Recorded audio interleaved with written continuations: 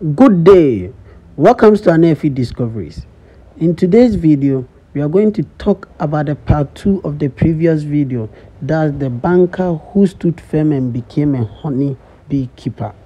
In this video, we are going to talk about the extraction, the process, what was is being used, and why people should buy from credible sources. He's going to say more about this. Please, if you are new to this channel, kindly do us a favor and subscribe. Turn on your notification button, like, comment, and share as well. May God be with us all. Today, we are at your lab, and you can see how serene the place is. So, I want you to tell us what this is about, and you can see the other videos too. Okay, so the honey we harvested from the farm. This is where, first of all, we put them and it will undergo a certain process before it's being crushed. The first process is removing the dead bees from it. Okay. So we have, we've graded them according to color. So these are freshly harvested combs. You can see that these ones are darker in color. So we separate the darker ones from the lighter ones. These are darker combs because they are much older. Good. And we have these lighter ones because they are not very much older combs.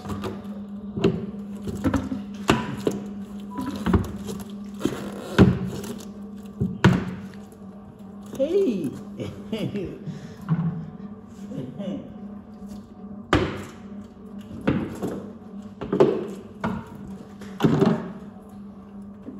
So like I was saying, you can see that this one contains bees.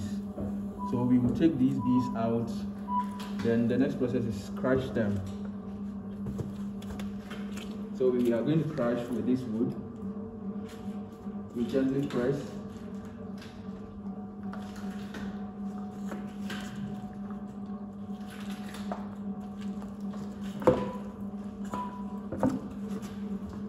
Doing this way in order for it to be easier for us to extract when we put it in the extraction machine. Okay. But Mr. Moffitt, why is it that the bees here are that they are, they are friendly as compared to being on the fruit? Here they are not trying to harm and stink you. This is because we've taken them out of their territory. Okay. They- is- now they don't have a, anything they are guiding, so they become uh, inactive. And also, why do you separate them as based on the colors? Why are you not grinding them or putting them in your extracted machine? together. Yes, please. Okay, so what normally happens is um, the bees forage at different times of the season, and the time of the season will determine the kind of nectar the bees bring to the hive. So the older ones means that it contains different nectar. The older ones, they wouldn't. It will never happen that the older combs contain same nectar for, uh, as compared to the new ones. So these are predominantly cashew, and these are from um, cassava, and then uh, these plants we call the tridax. They, they, these compose of those two flowers. How do you stand on that fact to say this is from a cashew nectar and this is also from? Okay, so normally we do a survey, and we know the majority of uh, forage resources, that's the nocturnal resources around our zone. So we know that they try that, and because we, our community uh, is um, cassava cultivating community, you get a lot of those flowers that flower around uh, that is June, June to November. Then the cashew, the mangoes will also start. But it's a cashew growing area. So from now till somewhere April, you will have the bees foraging on the cashew trees and the fruit.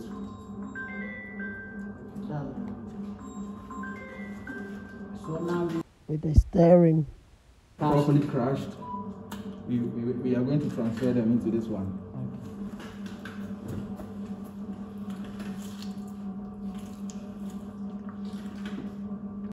let me this: Why are we gently dressed this way? Uh, I think it's, it's part of the requirements of the FDA. Normally, um, when you are processing um, food, and honey is food for the general public, it, it has to come with hygiene. So your environment must comply with those standards. So you have to come with a lab coat, you must wear a nose mask, you know. Occasionally we may talk. Okay. And we don't intend saliva to fall into the honey because we know people are going to eat it. We must wear the gloves in order not to cross contaminate anything. And we are wearing the bonnet because we don't want hair to also come in contact with our product. That's why we are dressed this way. Oh, okay. That's nice. So please, what's the name of this? I can just see that it's a, a sieve. Yes, these are honey press. Honey, Honey press. It's a cold honey press. cold honey press. Yes. You have the warm type. That one, you connect it to electricity. It partially heats the combs and melts the honey. Okay. But this is going to use pressure. So we are using this, the cold press method to extract our honey. And this cloth is intended to separate the wax. It's not to allow the particles penetrate through the small pores here. Okay. So only the honey will get access to the holes and drain into the bucket. Okay. So you pull the cloth, uh, the, the rope, then the mouth is sealed. Then we're going to put this uh, metal that is going to serve as the press Uh, that we connect to this one.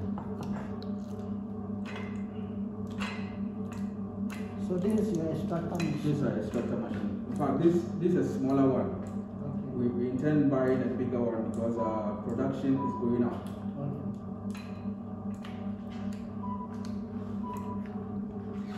So this one, aside the bodybuilders and uh, the muscular ones, can anyone handle it? Oh, it's much easier, you know. One of our staff here, she's a female, but you soon see her extracting it or using it. Or maybe she's from Taiwan. Taiwan people, they are slim, by they are very fit. it's, it's, it doesn't come with any difficulty. You just turn it and it presses the honey for So you. I can do. Yes. Once I install it, I'll let you have a try.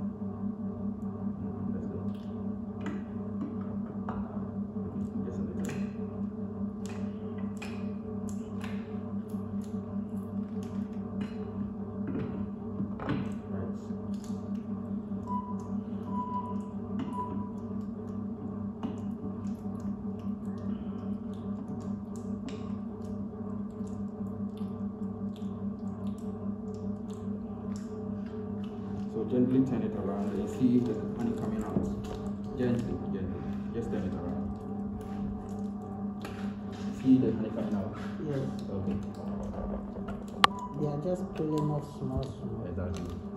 Hey, Gently.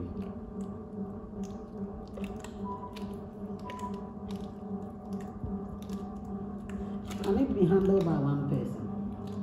Um, yes, it can, but you know, Mostly it's advisable to to. have two at least two people around. It's okay.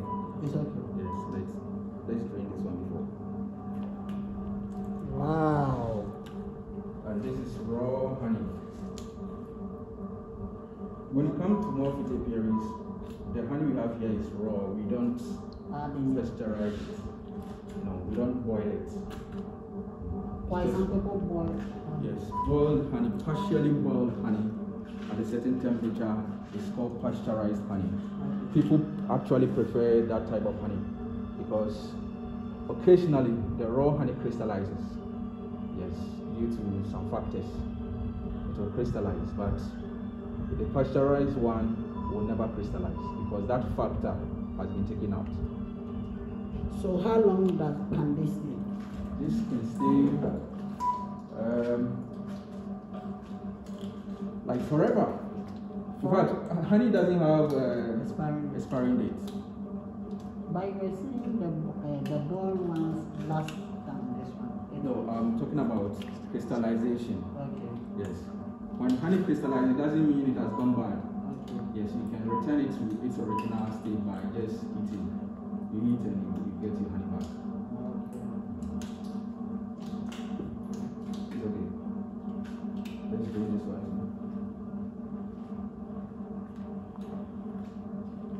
So the reason why I was talking about a bigger press is because last year alone we were able to produce three tons of honey.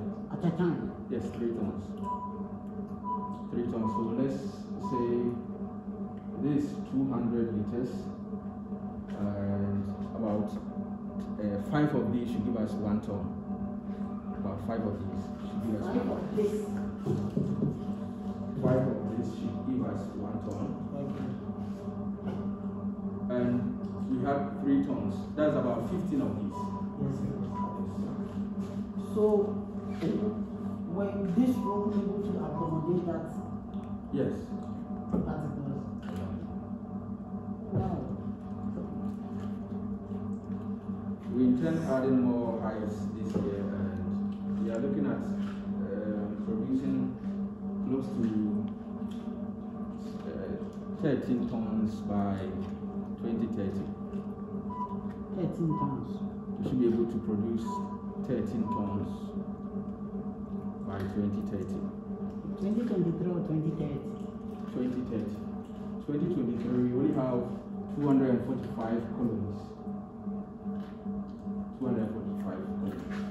So they can't produce number. No, they can't. They will not be able to, able to produce So how do you, like, annually, how do you think you'll be able to produce from the two, uh, 240. 40 colonies you have? Uh, roughly we'll be able to get like 3 tons, 3.3 tons Annually? annually. Okay. annually. But you were saying last year you had 3 tons at a time. Yeah, we had 3 tons. We had 3 tons because the point 3 was stolen by people. Okay. We had people, thieves going into our farm, breaking into our farm to harvest uh, honey. Hey, how? you know, those uh, village guys, they use the old method, the burning, you burn the bees and you harvest the honey. That was the technique they used. They didn't wear bee suit. So they stole from close to 30 hives. Oh,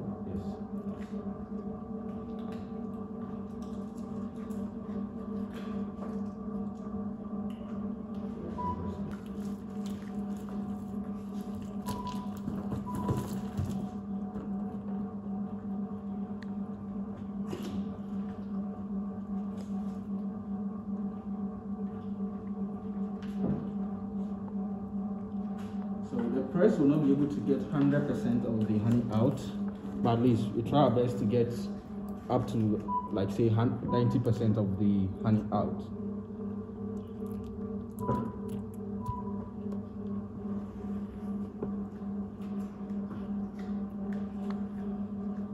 I think this is so nice.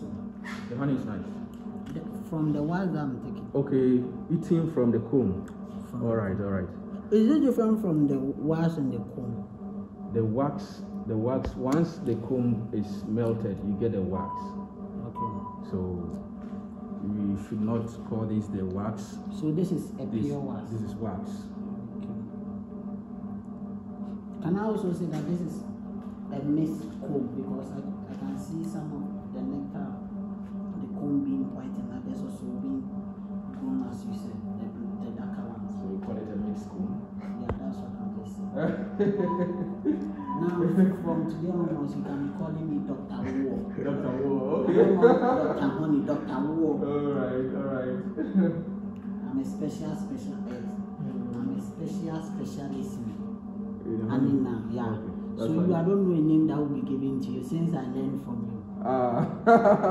Or you will be holding Professor in Emeritus of Honey. Ah. that's very nice. So, can you tell us something about the wasp? What is it used for? After this, are you going to throw it away or it has still has some secondary uses? okay, so we add value to whatever we bring here. Okay. the honey, the wax. So once we extract and get this, we are going to render. The technical term is render. Okay.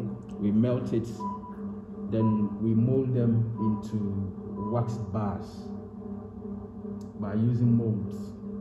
So once the honey, uh, the wax is extracted, it will also be extracted. So you take the impurities, we call them slum. Others call it slum gum. So we take that impurity, separate that one from the wax, and you get the original form, which is about yellow. It has different shades of yellow, and that becomes your wax. And it's used for many things, cosmetic purposes. When you go to the textile industry, it's used to make textiles. So some people use it for uh, polish, wood polish. So I have carpenters coming to me to buy the raw wax, and they go to make the wood polish with the wax. And a car polish, you know, some people do not want to see those cracks. You know, with time your car develops some cracks on them. There, there are polish for cars that could let the paint last. So if you want that, uh, if you want to take that property, that is the cracking property from the paint, there is what we call the wax, uh, the car polish, and this they use the bee wax to make it. Oh wow. So this was I use for shoes. Shoe polish. This so I think today is my first time for seeing some. Your first time seeing. A was. Okay. Okay. Today is my first time Okay. for seeing I think the popular one you know will be candle. It's also used for candles. Extracted and we have enough. We don't put it. This are settling time.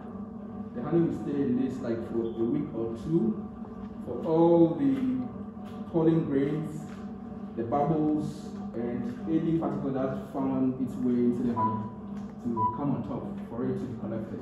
So I'm going to pour it into it.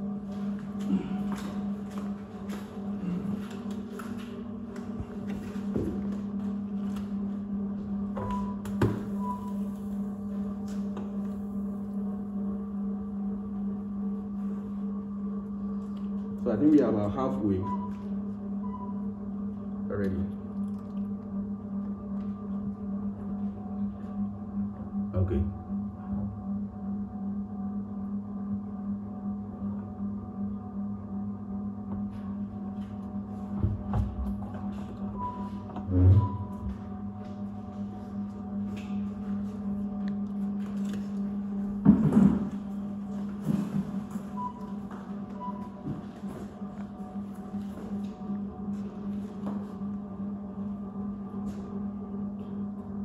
So from this bucket, these are the already uh, used or the already processed one that you have from the Okay, okay. one. Yes, this is the ones we brought from field and has been crushed. So these are the empty buckets.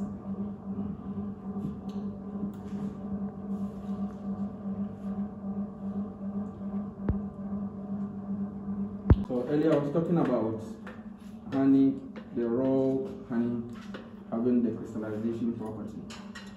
So with time, the honey crystallizes, it solidifies, and this is a typical example. It looks like sugar. So this is your. Uh, this your honey. own. This is the one that has not been bought. Yes, this is the unpasteurized honey, Okay. the raw state. Okay. Okay. So raw honey with time crystallizes, and it doesn't mean that it has gone bad. Okay. Okay. So if you want to um, bring it back to its non, uh, natural state, you only have to boil it maybe uh, up to um, 25 minutes. Just put it in warm water for say 25 minutes, and you get the liquid form. What again. of those using the microwave? microwave? Um, I'm not really used to microwaves, so I think the best thing is to put it in water, Hot water. hot water.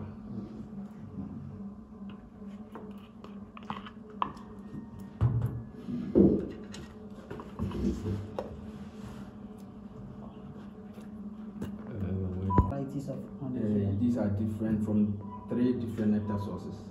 So I want you to try them to tell me the kind of flavor you get. Okay.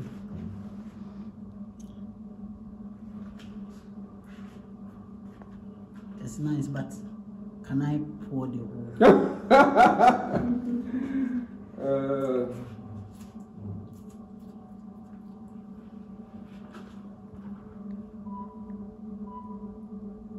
Please add more, add more, add more.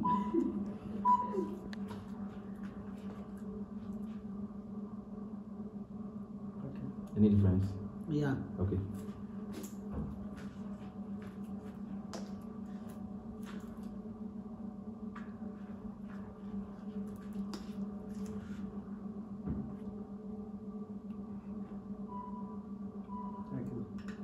You get a difference? Yeah, three, but why is that all of them are different? Are they all from the same It's area? yes, the same area, but the nectar was picked at different time of the year. Okay. So depending on the time of the year, the nectar the bees will bring to the hive will be different. So like I said, this one, uh, this is um, cashew. This is cashew, and these are from some wild plants. This is not cashew, and this is from the cassava and the tridax I was talking about. But to me, I prefer this one than all of them. The cashew is the sweetest. Uh-huh, because this one was so sweet and this one was having a bit sour taste. Sour.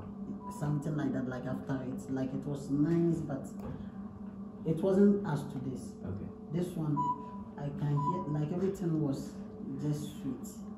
But this one, This is the sweetest. So sweet, sweeter, sweet. No, Sweet. sweetest. Sweet, sweeter, sweetest. Yeah. this is the sweetest of it. to. Alright, alright, alright. Then it comes here. Okay. Like this one. So it's because of the season. It's season. The season determines the kind of flowers the bees will pick. Can it have some effect on you maybe when you deliver it to your client? Um, I think my customers like the cashew. So normally we do not harvest um, in the minor season. We're supposed to harvest twice a year. But if you harvest in the minor season, you end up picking this type of honey. You know, although it's honey, but it's not sweet. Some people use honey because they want to substitute honey for sugar. So if it's not that sweet, it means that eh, they don't get that essence. I want to substitute honey for sugar, and the honey I'm getting is not sweet. So how do I use it to sweeten my food? So we prefer harvesting at the right time. That is when the um, cashew is in abundance. So can I test? You try again. Okay. You can actually go with it. let me try.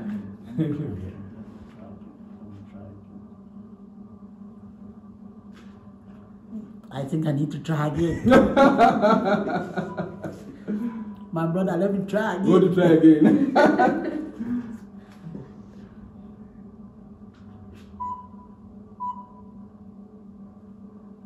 but like everything, honey must also be eaten in moderation.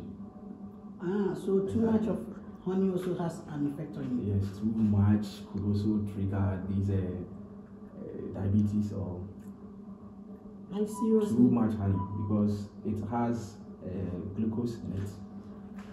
Glucose, glucose and sucrose. So when you eat it in excess, it could also give you diabetes. Okay. Mm-hmm. But it's much safer than The sugar. refined sugar. Oh, I think I thought I was a specialist in honey, but based on the adverse effect that you are giving right now, if I don't take care, they will they will take my lances and my degree from me. So I'll just go by the letter I have now. Thank you very much. Is, is this a normal solid solitaire or So solid tape also. yeah? No, no, no. This is not soap. This is beeswax. Bee was Beeswax. So once the one I showed you earlier, when the honey is okay. So when the honey is crushed and you extract the honey, it goes through another process known as the wax rendering process, and you get this. wow. You get this shape because we use wax mold. So this is what I was talking about. It being used for polish, wood, wood polish, car polish, shoe polish, in textiles, and then in pomades, some pomades, even soap. Initially, I thought this is a special solitaire for a soap. No, no, no, no. That's beeswax. Okay. Smell it and see. It has traces of honey in it. Yeah. But the normal see doesn't have that smell. Yeah, that is because they've taken this. Um, maybe they they had added aromatic flavor, or they've just taken everything that is the scent from it. So because it has been refined, that's why at times Yes, it's it has been refined, and you don't get any traces of the honey. So does it mean that this one, if you just put that rope here, it, It will light. It will light. Yes. Oh, wow. So what's the size of this? Uh, this weighs about 30 grams, uh, 300.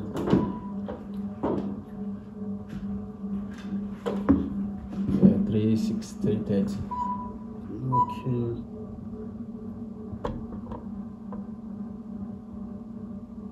Wow, it's so accurate.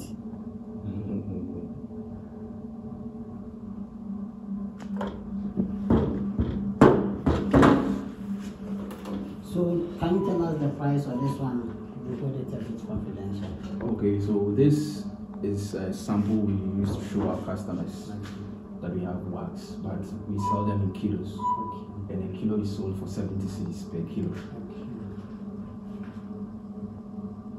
Thank you very much. I think today your video is so it has been lovely, creative, innovative, everything. Little did I know you have all these things here. I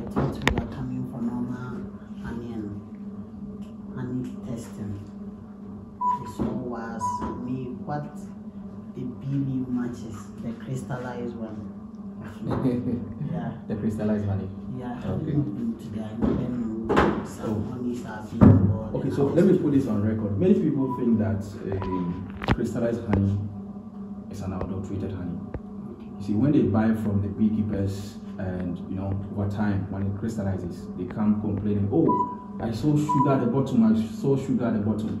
Raw honey, with time, crystallizes, like I've said. So if somebody should see um, that property of the honey, it hasn't gone bad, or it's not adulteration. Crystallization does not mean adulteration.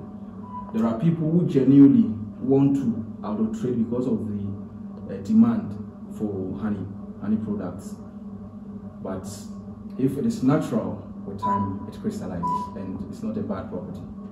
Okay, I think let me ask this question.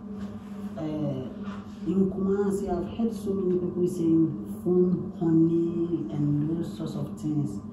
Being in this profession, can there be a possible way that some people can use foam to To adulterate honey. Yes, please. It is a very important question you asked me.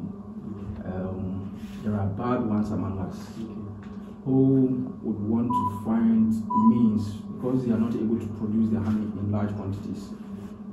You know, when we are talking about ours, we producing three tons, so maybe we have enough to sell. They go harvesting from hollows of trees, so in very limited quantity. And if the demand is high, they keep asking them, "Do you have honey? Do you have honey?" Then they will want to add substances, not only the foam. They add syrups. I think those are advanced ways of adulterating honey, and you can use the human senses to detect. Mm. Yes. So you find people coming, oh, I'm an expert. If you put fake honey here, I'll be able to taste it to know that this is fake honey. Trust me, the person get it wrong. Mm. You can use human senses, using your eyes, the nose to smell, the tongue to taste, to identify that this is quality or good honey. You can't. Well, so Yes. then are you telling audience and people out there that they should be buying from a credible sources? That is it. If you want to know that the honey you are consuming is good, buy from a source you trust, Thank you. precisely from a beekeeper. Oh, that's very nice. Thank you. Please, you can contact Mr. Moffat with the details given on the screen. He's a facilitator in beekeeping, and also, if you want anything credible to honey, was anything concerning bees and honey, you can contact Mr. Moffat. Please, as we said already, if you're new to this channel, please like, comment, share our video don't forget to turn on your notification button the clean climb is very necessary may god be with us all enjoy your weekend